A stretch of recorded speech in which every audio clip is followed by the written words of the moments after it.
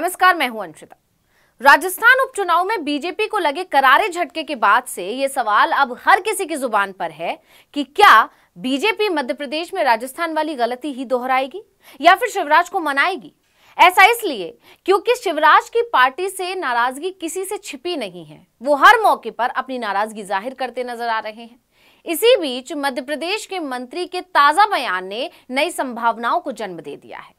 क्योंकि उन्होंने कहा कि पार्टी ने पुराने लोगों को फेक नहीं दिया है, उनको किसी और काम में लगा रहे हैं। अब विजय शाह के बयान के बाद लोगों का कहना है कि इससे साफ़ हो गया है कि लोकसभा चुनाव के चलते बीजेपी कोई रिस्क लेने के मूड में नहीं है।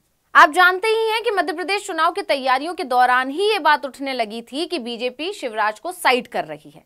इसके बाद ऐसी चर्चाओं को बल तब मिला जब पहली सूची में दूसरी सूची में शिवराज का नाम ही नहीं आया। इसके बाद ही शिवराज ने बगावती तेवर दिखाना शुरू कर दिया था। उन्होंने खुले मंच से सवाल किया था कि मामा को मुख्यमंत्री बनना चाहिए या नहीं। मामा को मुख्यमंत्री बनना चाहिए कि नहीं? मोदी जी को प्रधानमंत्री बनना चाहिए कि नहीं? शिवराज के इस वीडियो से ऊपर तक हलचल मच गई। इस वीडियो का असर यह हुआ कि शिवराज का लिस्ट में नाम आ गया। इसके बाद माना जा रहा था कि बीजेपी शिवराज के दबाव में आ गई। अब तो अगर बीजेपी जीती तो सीएम शिवराज ही होंगे। लेकिन बीजेपी ने शिवराज के साथ खेल कर दिया और काफ़ी समय लेने के बाद सीएम बना दिया मोहन यादव को। शिवराज और उनके समर्थकों के लिए यह किसी बड़े झटके से कम नहीं था। इसलिए अब एक बार फिर शिवराज ने बगावती तेवर दिखाना शुरू कर दिए। अलग अलग मौकों पर अलग अलग मंचों से शिवराज अपनी नाराज़गी ज़ाहिर कर रहे हैं। ऐसे में अब एक और वीडियो तेज़ी से वायरल होने लगा। इसमें शिवराज को कहते हुए सुना जा सकता है कि पोस्टर से सीएम के फ़ोटो ऐसे गायब हो जाते हैं जैसे गधे के सिर से सींग। होर्डिंग से फ़ोटो ऐसे गायब होता है जैसे गधे के सिर से सींग। सिर्फ़ यही नहीं एक और वीडियो सामने आ रहा है। इसमें भेरुंदा में ही बैंड संचालकों ने सरकार के इस आदेश को लेकर सरकार के एक आदेश को लेकर शिवराज को ज्ञापन सौंपा। शिवराज ने बैंड संचालकों को आश्वस्त करते हुए कह दिया कि आप बैंड बजाएँ ढोल बजाएँ ताशे बजाएँ कोई रोकेगा तो मैं देख लूँगा। नहीं है कोई नहीं है। बजाओ मैं देखता हूँ कौन रोकता हाँ। साहब बैंड की तो बजाओ। आधी नहीं तूफ़ान हाँ? बैंड बैंड बैंड बैंड का भी रहेगा। आप बैंड बजाओ आप ढोल बजाओ आप ताशे बजाओ। कोई रोक नहीं है कोई रोकेगा तो मैं देखूँगा। बिल्कुल।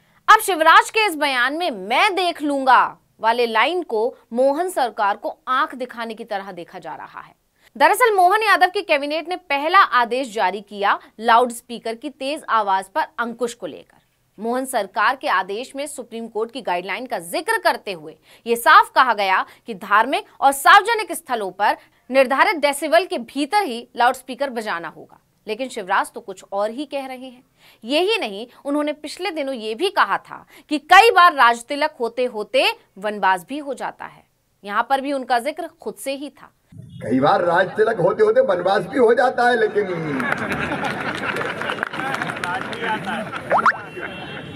लेकिन वो किसी न किसी उद्देश्य की पूर्ति के लिए होता है और क्या? अब वनवास और पोस्टर से फ़ोटो गायब होने का बयान दोनों ही सीएम नहीं बन पाने की कसक ज़ाहिर कर रहे हैं। इसलिए कयास है कि शिवराज अपनी ही पार्टी से कहीं बगावत ना कर दे। जैसे ही इस तरह की खबरों ने ज़ोर पकड़ना शुरू किया, बीजेपी में एक बार फिर खलबली मच गई। इस तरह के कयासों पर अब विराम लगाने के लिए मध्य प्रदेश के आदिम जाति कल्याण मंत्री कुंवर विजय शाह का बयान आ गया। उन्होंने कहा कि पार्टी ने पुराने लोगों को फेक नहीं दिया है। उनको किसी और काम में लगा रहे हैं। हालाँकि इसके साथ ही उन्होंने सख्त लहजे में यह भी कह दिया कि भाजपा पद को किसी की बापौती नहीं समझती। परिवर्तन ज़रूरी है। अब जानकार उनके इस बयान को शिवराज से जोड़कर देख रहे हैं। उनका कहना है कि जिस तरह से शिवराज जगह जगह अपना दर्द बयां कर रहे हैं, इससे राज्य की सियासत गरमाई हुई है। इसलिए बीजेपी इस सियासी हलचल को थामने की कोशिश में लग गई है। इसकी सबसे बड़ी वजह है राजस्थान की श्री गंगानगर की करणपुर सीट का रिज़ल्ट जहाँ बीजेपी को करारी हार का मुँह देखना पड़ा। कांग्रेस प्रत्याशी रुपिंदर सिंह रूबी कुन्नर ने बीजेपी के सुरेंद्र पाल टीटी को 12,500 से ज़्यादा वोटों से हरा दिया। आपको बता दें कि देश के इतिहास में ऐसा पहली बार हुआ था जब किसी प्रत्याशी को मंत्री बनाया गया था। अब इस हार को लेकर जानकारों का दावा है कि वसुंधरा की अनदेखी बीजेपी को भारी पड़ गई। इसलिए बीजेपी अब वही गलती मध्य प्रदेश में तो नहीं दोहराएगी। उल्टा राजस्थान में भी वसुंधरा के साथ रिश्ते दुरुस्त करेगी। यहाँ तक कि छत्तीसगढ़ के पूर्व सीएम रमन सिंह को भी साधेगी।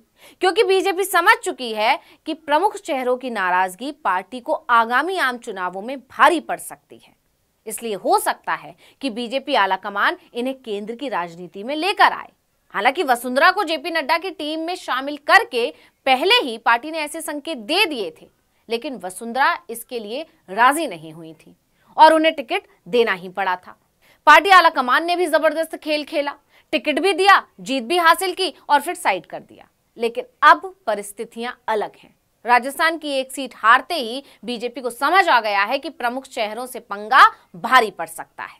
इसलिए उन्हें मनाने की शुरुआत उसने मध्य प्रदेश से कर दी है। हालाँकि इसके साथ ही मंत्री साहब ने यह भी इशारा दे दिया है कि रोने धोने से कुछ नहीं होगा, क्योंकि पद पर किसी एक का हक नहीं होता। वो तो बदलता रहता है। पार्टी आलाकमान जिसे चाहेगा, उसे बैठा देगा। आज कोई तो कल कोई और होगा। खैर, जो भी हो, फ़िलहाल ये बयान बता रहे हैं कि बीजेपी में बेचैनी है। ऐसे में अब देखना होगा कि बीजेपी शिवराज को मनाने में कामयाब हो पाती है या नहीं, या फिर आगामी लोकसभा चुनाव में पार्टी को इसका बड़ा हरजाना भुगतना पड़ेगा।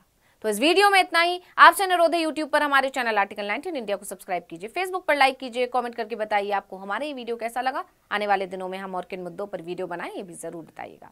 ट्विटर हैंडल है आर्टिकल नाइनटीन इंडिया इसे भी फॉलो कर लीजिए। नमस्कार। और बाद में नहीं रहे तो होर्डिंग से फ़ोटो ऐसे गायब होता, जैसे गधे के सिर से सींग। कई बार राज तिलक होते होते वनवास भी हो जाता है, लेकिन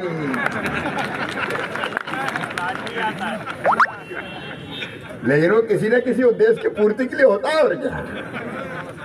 बैंड वाले साहब। बैंड वाले सब वाले। नहीं तो तुम्हें अनुमति नहीं है क्या? ना नहीं है कोई नहीं है अरे बजाओ मैं देखता हूँ कौन रोक हाँ। साहब। बैंड के तो बजाओ। आधी नहीं तूफ़ान हाँ बैंड बैंड बैंड का भी रहेगा। आप बैंड बजाओ आप ढोल बजाओ आप ताशे बजाओ। कोई रोक नहीं है कोई रोकेगा तो मैं देखूँ बिल्कुल। मामा को मुख्यमंत्री बनना चाहिए कि नहीं? मोदी जी को प्रधानमंत्री बनना चाहिए कि नहीं? भाजपा की सरकार फिर से आना चाहिए कि नहीं? तो आओ